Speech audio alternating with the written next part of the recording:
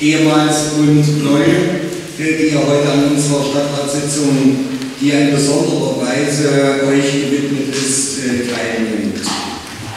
Ich möchte an dieser Stelle schon, ob es an späterer Punkt nochmal tue, auch der als Ortsbürgermeister scheidenden Daniela Hoffmann schon an dieser Stelle auch im Namen des Stadtrates ein Dankeschön sagen. Welche Aufgaben haben Sie Schwerpunkte? Heute nicht vor, Rundumschlag zu machen über alle Themen, sondern über einige Schwerpunkte, die im Moment äh, aktuell unsere Arbeit bestimmen. Hierzu ist im Moment die dritte Vorschreibung des Personalentwicklungskonzeptes. Sie hatten ja genaue Zielstellungen äh, auch im Stadtrat letzter Wahlperiode vereinbart. Flächendeckend für die gesamte Verwaltung wurden die kompletten Stellenanforderungsprofile überarbeitet und erstellt. In den letzten drei Jahren sind 50 Prozent aller Stellenbeschreibungen aktualisiert worden und befindet sich derzeit in Bearbeitung. Das Anpassen der Stellenbeschreibung an aktuelle Erfordernisse und dienstliche Zielstellungen ist ein fortlaufender Prozess. In den Gesprächen zur dritten Vorschreibung des Personalentwicklungskonzeptes im April Mai 2014 wurde mit den jeweiligen Fachbereichsleitern jede einzelne Stelle besprochen, auf der es bis zum 31.12.2021 eine Veränderung gibt. Dabei wurde jeder Einzelfall detailliert betrachtet und eine genaue Zeitschiene festgelegt. Der Vorgabe, die allgemeine Verwaltung bis zum 31.12.2017 freiwerdende Stellen nicht extern wieder zu besetzen, um die Zielgröße von 70 einzusparen und vollbeschäftigten Einheiten der Verwaltung zu erreichen, äh, wurde im Wesentlichen bereits Rechnung getragen. Die aktuelle Hochrechnung beläuft sich bis zum 31.12.2017 auf die Einsparung von heute schon nachgewiesen ca. 65 vollbeschäftigten Einheiten. Die Vorgaben des Stadtrates, des Landesrechnungshofes und der Kommunalaufsicht werden damit erfüllt. In dem Zeitraum ab 1.1.2018 kommt es zu weiteren massiven Personalabgängen, die einer weitsichtigen Personalentwicklung bedürfen.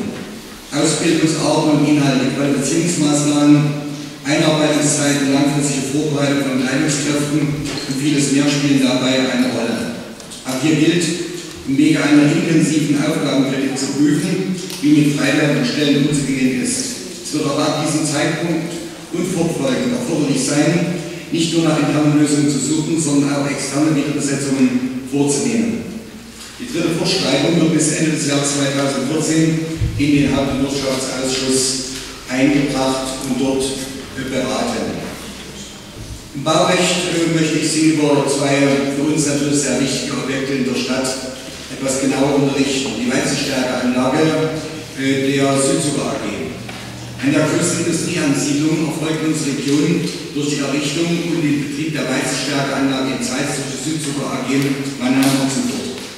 Der Standort Zeitz entwickelt sich mit der geplanten Investition zugleich zum größten Produktionsstandort des Konzerns. Der Wirtschaftsfaktor Zeitz mit seiner Infrastruktur und dem Energieträger Braunkohle bietet dem Unternehmen optimale Bedingungen zur Ansiedlung dieser Produktionsanlage sodass Sites als mehrere Standardvarianten favorisiert wurde. Mit dem Betrieb werden unmittelbar ca. 100 neue Arbeitskräfte geschaffen. Direkt profitiert die drei- bis vierfache Anzahl von Arbeitskräften von dieser Ansiedlung.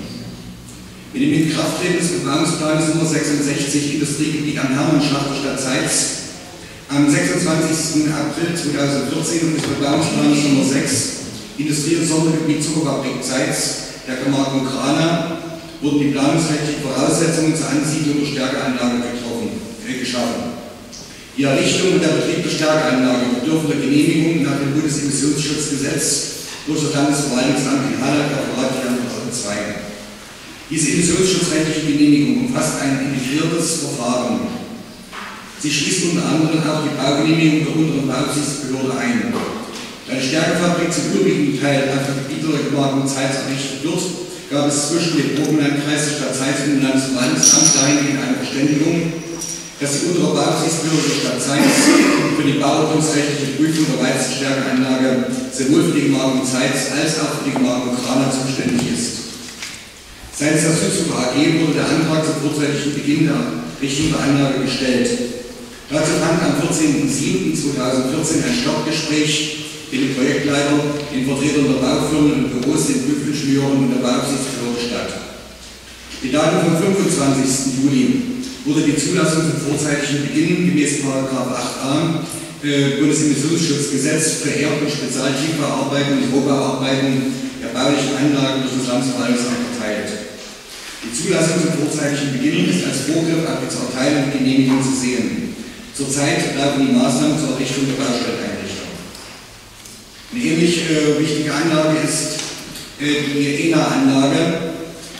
Crop Energies Bioethanol GmbH bereitet ebenso am Stand Zeit eine größere Investition auf den Betriebsgelände der Süd Die Produktionskapazität wird durch die geplante Errichtung einer zusätzlichen Destillationsanlage, eines weiteren Nasskühlturms und eines Alkoholtanklagers, äh, das sogenannte ENA-Tanklager, äh, ENA ausformuliert extra neutral Alkohol, erweitert.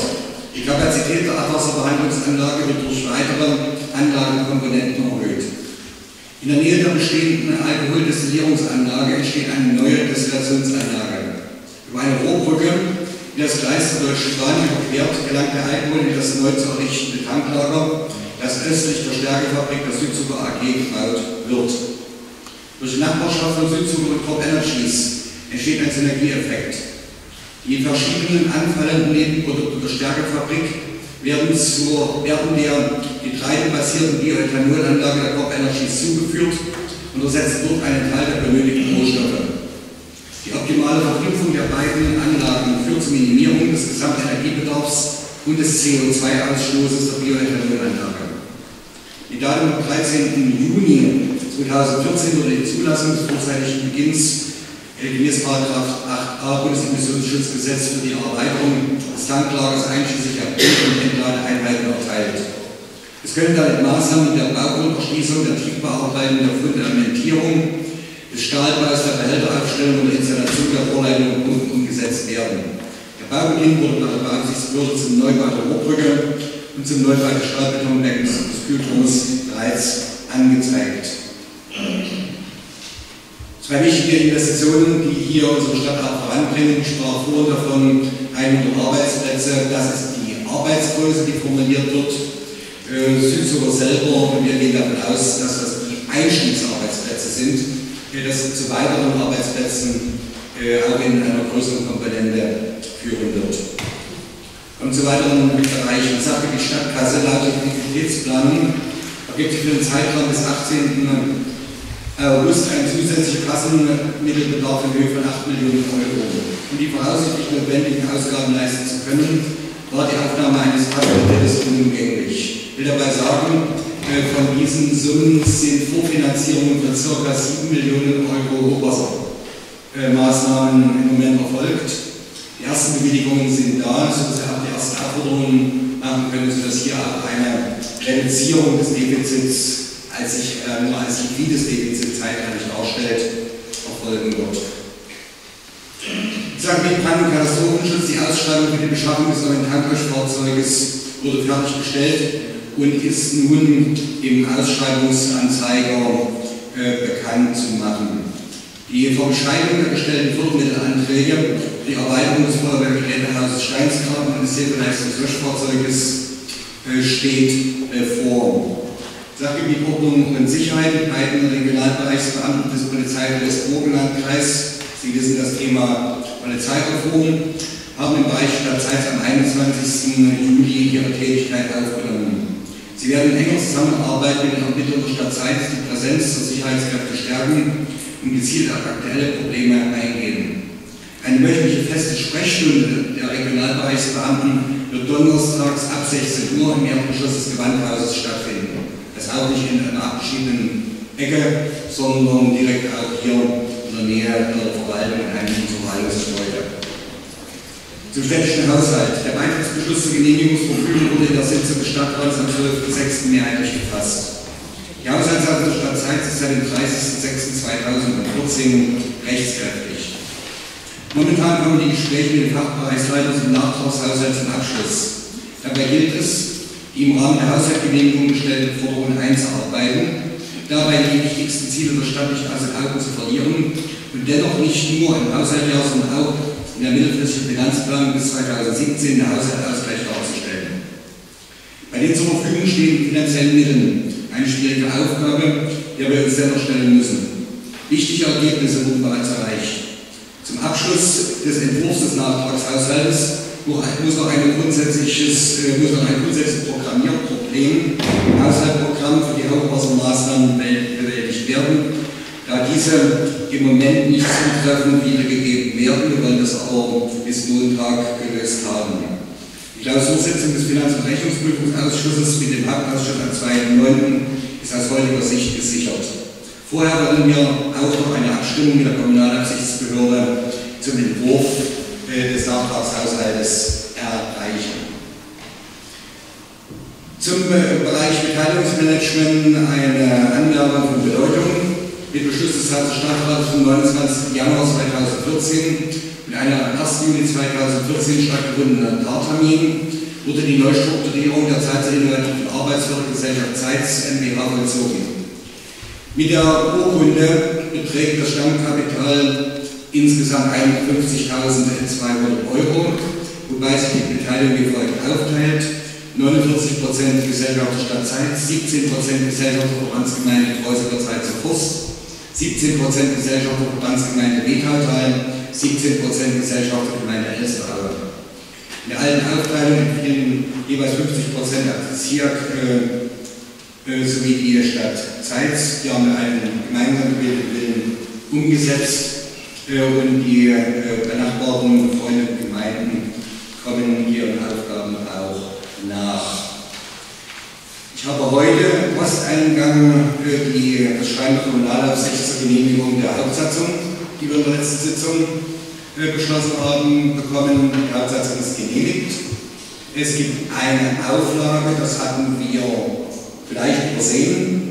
Äh, die Kommunalaufsicht äh, hat es auch aufmerksam gemacht, dass das Gesetzgeber im Kommunalaufsichtsgesetz es als zwingend dargestellt hat, nämlich, dass wir aufnehmen müssen, dass auch in den Ortschaftsräten zwingend im Pflichttagesordnungspunkt die Fragestunde aufzunehmen ist. Das müssen wir in die Hauptsatzung noch reinschreiben äh, und muss dann auch in allen äh, Tagesordnungen der Ortschaftsräte damit beachtet werden. Äh, das ist diese Vorgabe. Das zweite ist gebe ich als Protokollverklärung, äh, weil es aber doch in der Allgemeinveröffentlichung steht.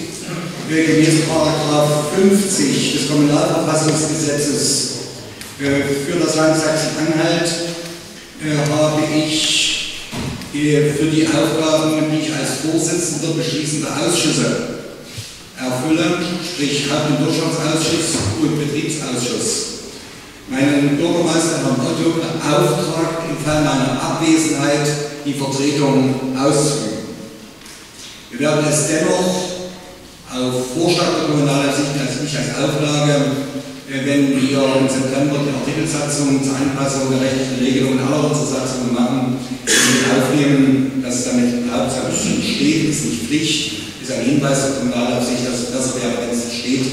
Rechtlich ist meine Beauftragung Stelle äh, schon mal gültig. Soweit äh, der etwas gekürzte heutige äh, Bericht vollständig Bericht nach allgemeinen Programmmaßnahmen sehen können, so wie gewohnt im Internet nachlesen. Ich bedanke mich für